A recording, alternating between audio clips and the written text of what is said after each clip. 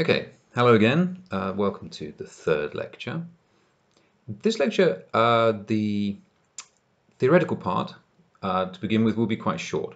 I don't have too much to say on the theory before we start looking at the exercises, so I'll just do a quick introduction here, and then the longer part will be actually looking at the exercises.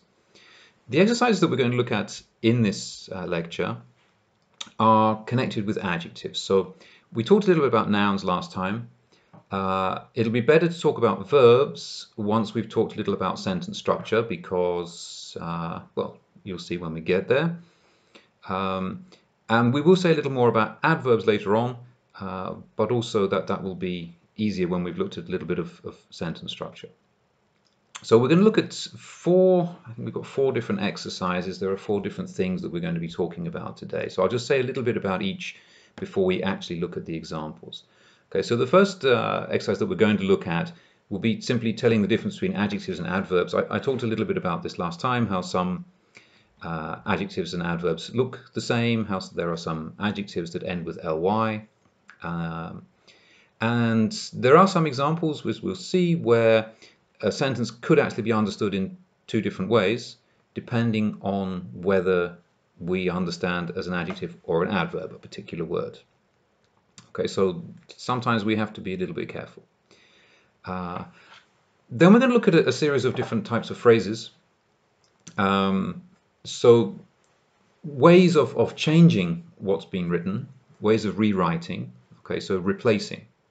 Uh, so there are certain uh, clauses. Uh, so we're going to look at uh, examples of relative clauses, which can be rewritten more simply by using an adjective phrase. And of course, one of the uh, important parts of, of having good style, good skill with language, is being able to phrase things differently. And generally speaking, in English, it's considered good style to be able to phrase things uh, in as few words as possible, okay, um, to keep sentences short and to the point. So good style in English is not about being able to use complicated structures or complicated vocabulary. It's being about it's about being able to use the right structure and the right vocabulary. Okay. Um, I'm not so sure what, what you think about this, but I have the impression that for some people, at least in Polish writing, uh, good style is associated with very complicated, long explanations. Um, and and uh, the idea that you should do everything as quickly and simply as you can is is not really uh, is not really encouraged.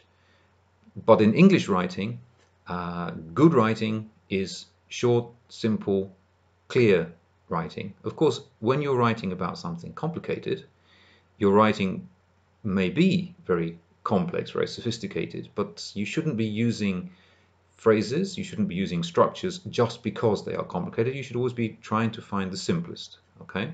So that's partly what we're going to be doing with these exercises. So replacing relative clauses with adjectives uh, is a way of shortening sentences and reducing the number of clauses. Okay, so by clauses, we're talking about parts of a sentence. So we, we haven't got into the structure of sentences. We'll talk about that next time. We're talking about parts of a sentence which usually usually have their own verb. Okay, uh, but we're also going to talk a bit about verbless clauses today. But usually they would be separated because they have their own verb.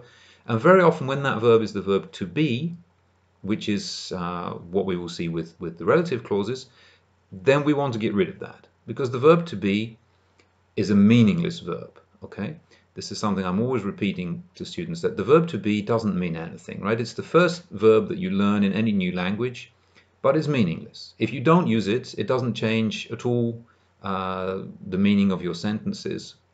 Uh, you simply say, you know, I Martin instead of I am Martin. It doesn't it doesn't change anything really. It just sounds ungrammatical because we're used to it. But generally speaking, the verb to be doesn't add any extra information.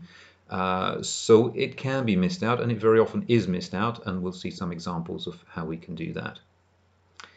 Okay, the second set of, uh, set of exercise or set of uh, examples is about using an adjective as the head of a noun phrase. Okay, so I just need to explain what we mean by the head of a phrase. So the head word in any phrase, right, a phrase is made up of a number of words, but the head word is the word which makes that phrase what it is, right? So in a noun phrase, the head word is a noun, okay? So when we say the foolish man, okay, we have a determiner, we have an adjective, we have a noun, but this is a noun phrase overall, right? Overall, it's going to work as a noun. So the head of that phrase would be the word man, okay? So in any type of phrase, the head is the key word which makes that phrase the type of phrase that it is, right? So we very often use adjectives in noun phrases. However, it's also possible to turn adjectives into temporary nouns, okay, uh, and use an adjective as though it were a noun,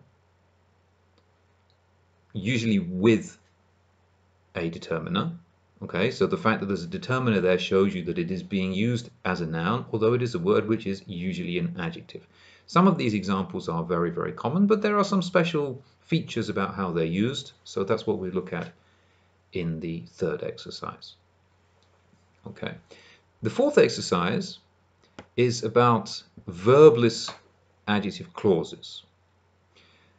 So, as I said, normally a clause we, we, can recognize because it has some type of verb in it, in, in a standard clause. Uh, however, uh, it's possible to have verbless clauses, but these clauses are always somehow separate from the rest of the sentence. It's because there's another clause, which is the main clause in the sentence. Okay, that's what we're going to talk about uh, in the next couple of lectures. But it is possible uh, to create structures where uh, we have an adjective clause which, again, usually it's removing the verb to be. Right? So we're removing the verb to be, and that leaves us with just the adjective clause, which we understand okay, to be we understand the the the, uh, the, the grammar of the original with the to be, but we don't need to say it. And again, these types of clauses are very very much considered good style in English. Okay, whether or not you feel confident enough to use them in your own English is a separate question. Okay, that's up to you. You certainly should recognize them in other people's English.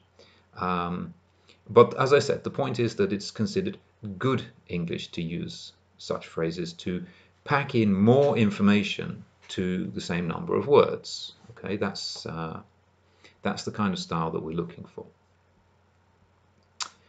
Okay, as I said, this is going to be the last. Um, yeah, so so this is kind of the last where we're talking about the parts of speech. Okay, um, in the next uh, lecture theory part, I'll talk about the structure of sentences. Okay, and the different parts of a sentence. So these are not parts of speech. We're not giving uh, particular words a name, like a part of speech. We'll be looking at the function which particular words and phrases are playing in a sentence. Okay, so that's what we'll come on to next. So if anybody has any questions about parts of speech as individual words, they should send them in now. Uh, and I'll come back to that in the next lecture. Uh, but if you don't tell me, uh, then I won't know what you have problems with because I can't see you. I can't see you shaking your heads and thinking, I don't understand that. Okay. Okay, so I'm going to finish now. So this is going to be a fairly short one. Uh, and then we'll move on to just you'll be able to see the screen of the exercises instead of me, which will probably be nicer for you. Uh, and that'll take us a little while to go through. So the next one will be a little bit longer just, just with that with that screen. Okay, all right, so that's it for now.